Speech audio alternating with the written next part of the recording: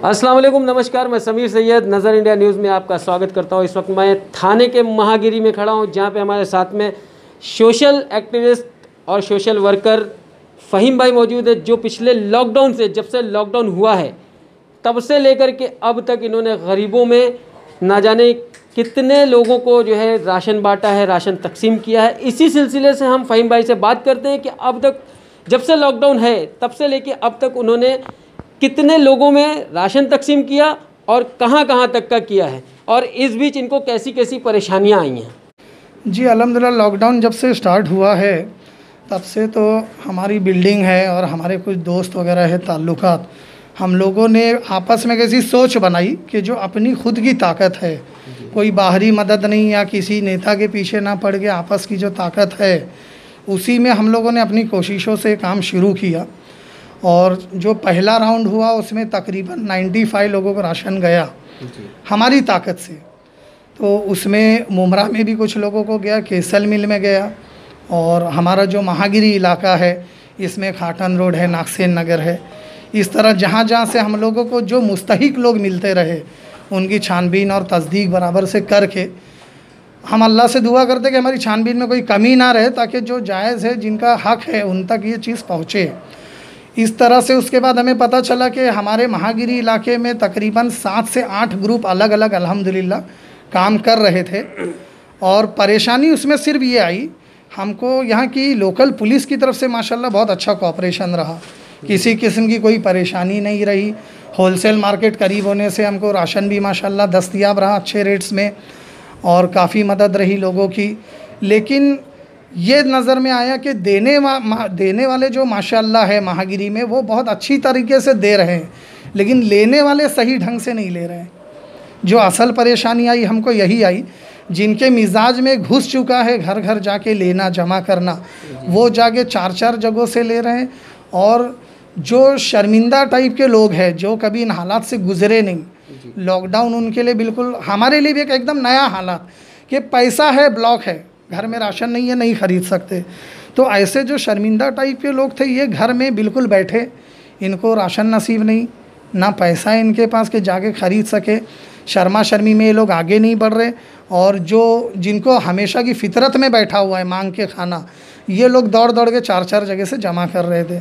तो ये चीज़ें नज़र में आने के बाद हम लोगों ने मोहल्ले के जो सात आठ लोग काम कर रहे थे, अल्हम्दुलिल्लाह, हम लोगों ने सारे लोगों की लिस्ट को जोड़ के एक कर दिए। ताकि इसके बाद ख्याल रखे जाए अगले राउंड में जो रमज़ान अभी आ आने वाला था उस वक्त जब बातचीत हो रही थी तो हम लोगों ने इसको पूरा एक कर दिए लिस्ट को। पता ये चला कि साढ़े चार सौ घर में मुश्किल से सवा सौ घर ऐसे जिनको राशन की ज़रूरत है लॉकडाउन के हालात के हिसाब से। नॉर्मल हालात में साठ पैंसठ के ऊपर नहीं है। तो ये सवा सौ को हम लोगों ने आपस में बांट लिए। तकरीबन पैंसठ सत्तर लोगों का नाम हमने अपने ग्रुप में ले लिए कि इनको हम बांट देंगे। क्योंकि अल्लाह ने बरकत दिया काम में हमारी तो ताकत थी नहीं लेकिन अल्लाह ने जैसी बरकत दिया और अल्हम्दुलिल्लाह फ़ंड भी वैसा होते गया आपस में ही। अभी तक नौबत नहीं पड़ी कहीं बाहरी मदद की। उसके बावजूद भी कुछ करीबी इलाके जैसे राबुड़ी से नजीब मुल्ला साहब ने उन्होंने हमारे अनवर मेमन भाई के बोलने पर वहाँ से सौ किट भिजवाए। तो एक मदद वो भी हो गई। फिर यहाँ पे और भी काफ़ी लोग हैं जो कर रहे हैं। तो राशन की अलहमदिल्ला अब यहाँ कमी नहीं है। मेरी लेकिन अपील ये है लोगों से कि बांटने वाले कमी नहीं कर रहे। अल्लाह ताला अगर आपका रिस्क आपके दरवाज़े पर पहुँचा रहा है तो आप अपने पास ही रखिए। आप उसमें उथल पुथल मत कीजिए कि मेरे बाजू वाली की ज़रूरत थी मैंने आधा उसको दे दिया मेरे पीछे वाली के पास नहीं था मैंने वहाँ पहुँचा दिया। पहुँचाने वाले वहाँ घर में ऑटोमेटिक पहुँचा रहे। जहाँ नहीं पहुँच रहे आप उनका नाम हम तक पहुँचा दो उनका नाम नंबर। इन हम उनको डायरेक्ट पहुँचाएँगे। इससे सिस्टम में गड़बड़ हो रही है। और दूसरी अपील ये करूँगा जो लोग ज़क़़त को गलत नज़रिए से देख रहे हैं यानी ज़क़़त यानी लोग एकदम ऐसा समझते कि भीख शर्मिंदगी इज़्ज़त का निकल जाना तो ये बेवकूफ़ी की बात है। आज हमको सरकारी टैक्स भरना हो तो सरकारी कारकुन हमसे आके एकदम कॉलर टाइट करके टैक्स वसूल के ले जाते हैं। ये तो हम अल्लाह का टैक्स भर रहे हैं। देने वाला मजबूर है लेने वाला मजबूर नहीं है। लेने वाले वो तो अल्लाह के कारकुन है वो से आपका टैक्स वसूल करने आए वो चाहे तो आपसे कॉलर पकड़ के ले सकते। तो आप उनको, एक तो इस नज़र से मत दीजिए टैक्स के, आप उनके ऊपर एहसान कर रहे। उल्टा वो आपसे लेके आपके ऊपर एहसान कर रहे। और लेने वाले इस गलत गुमान में नहीं रहे कि ये ज़क़़त का है तो हमको नहीं चलेगा। अपने अपने इलाके में मौलाना मुफ्ती आलिम लोगों से मशवरा करे अपने हालात उनके सामने रखे और उनसे जायज़ जो भी फतवा हो मालूम हो कि भाई ये चीज़ हमको चलेगी या नहीं चलेगी। और अगर चलेगी तो हक से आके हमारा कॉलर पकड़ के हमसे ले हम ये चाहते हैं। आखिर में जो है जो भी मुंबई और महाराष्ट्र की जो पब्लिक है जो लॉकडाउन में परेशान है और एक चीज़ और कि अभी रमज़ान का पहला दिन शुरू हो चुका है रोज़े का पहला दिन है लोग ऐसे ही परेशान है कि मस्जिदों में तरावी नहीं पढ़ पा रहे हैं और नमाज़ें नहीं एक साथ पढ़ पा रहे हैं। इन लोगों के लिए आपका क्या संदेश है? जी, इन लोगों के लिए सिंपल मैसेज ये है कि हम तकरीबन पिछले बीसों सालों से टीवी न्यूज़ सीएनएन और जितने भी इंटरनेशनल चैनल्स हैं, सारे वर्ल्ड के हालात देख रहे हैं। कभी बोस्निया, सर्बिया, फ़िलिस्तीन, कहीं मिज़ाइल गिरता है, कहीं क्या गिरता है। तो ये सोचिए कि उन लोगों का रमज़ान और उन लोगों की ईद कैसी गुजरती होगी। अल्लाह ने आज भी हमको हमारे बहुत अच्छे हालात में रखा है कि अल्लाह की दी हुई हर नियामत हमारे दरवाजे तक आ रही है, हमारे दस्तरखान पे बिछ रही है। तो नाशुक्री करने वाली कोई बात नहीं है। मौका बहुत अच्छा मिला है।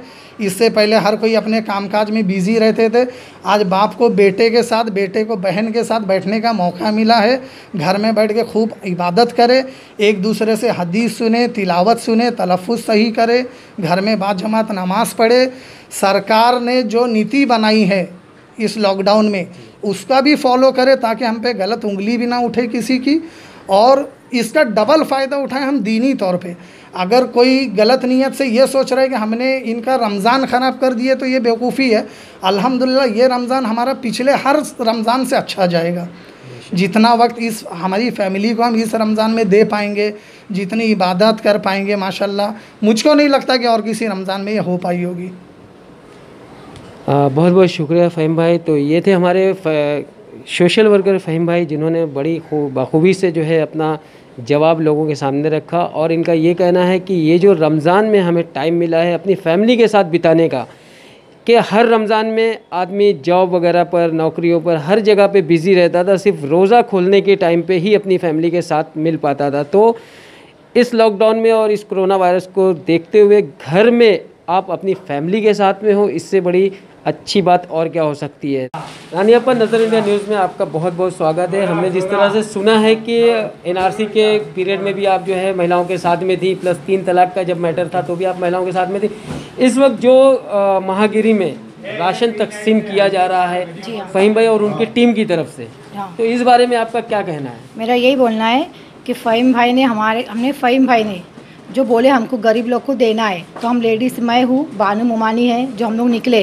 और ये बहुत ज़रूरतमंद लोग हैं जिसके घर पे सामान नहीं था और जो बेरोज़गार बच्चे हैं जो काम पे जाते हैं तो उनके भी घर में जो बच्चे बैठे सब उनके लिए हेल्प कर रहे हैं हम लोग। तो अब तक आप लोगों ने कहाँ कहाँ पर तकसीम किया है? हम लोग ने मतलब काफ़ी महागिरी है फिर केशर मिल है फिर कलवा है फिर मुमरा है मतलब हर जगह हम लोग का सामान जा रहा है। सामान ले जाने में किसी तरह की कोई परेशानी? नहीं वो सब अभी तक नहीं पड़ी आपको किसी तरह की बानो आप क्या कहेंगी? हाँ बोले हम लोग भी राबड़ी मागिरी और मोहल्ले में और किसको देना है मतलब पहुँचा देते तो ये जो राशन आप लोग जब बांटते हो तो किसी तरह का आप वेरिफिकेशन करते हो कि इनके घर में वाकई में किसी चीज़ की ज़रूरत है हाँ, कि करके देते हम लोग बोले मतलब किसके यहाँ है नहीं है नहीं है तो बेवा। बेरोजगार है, जो बच्चे घर में बैठ गए अभी उनके बच्चे सब बोले वो सब ओके तो ये थी हमारी रानी आपा और बानो आपा जिन्होंने कहा कि हम लोग जो भी राशन तकसीम करवा रहे हैं वेरीफाई करके करवा रहे हैं कि जिनको बहुत ज़्यादा ज़रूरत है उन तक और सही लोगों तक हमारा राशन पहुँच सके। कैमरामैन वाहिद के साथ समीर सैयद नज़र इंडिया।